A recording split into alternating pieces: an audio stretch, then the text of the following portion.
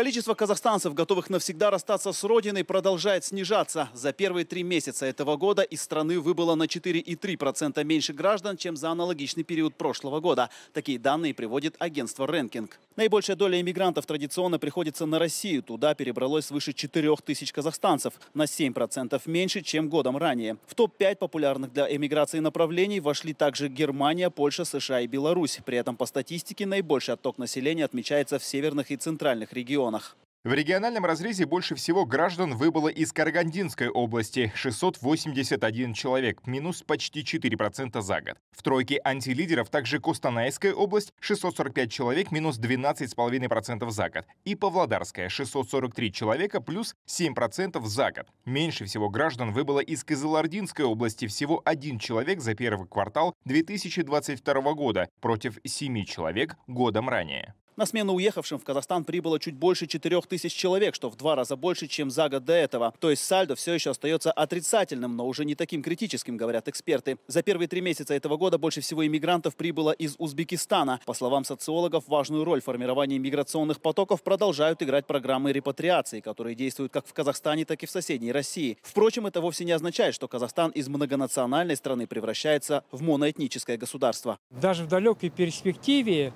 моноэтничность для Казахстана не будет преобладающим или присущим или характерной чертой. Все-таки э, весь современный мир, многие государства, они полиэтничные.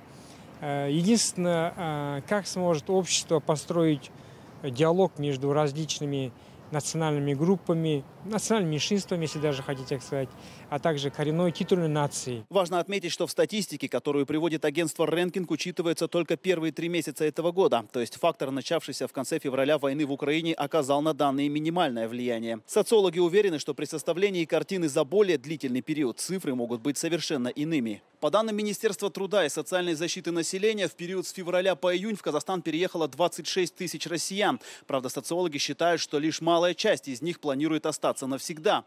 Эксперты полагают, что множество граждан России перебираются в Казахстан, пытаясь уклониться от службы в армии.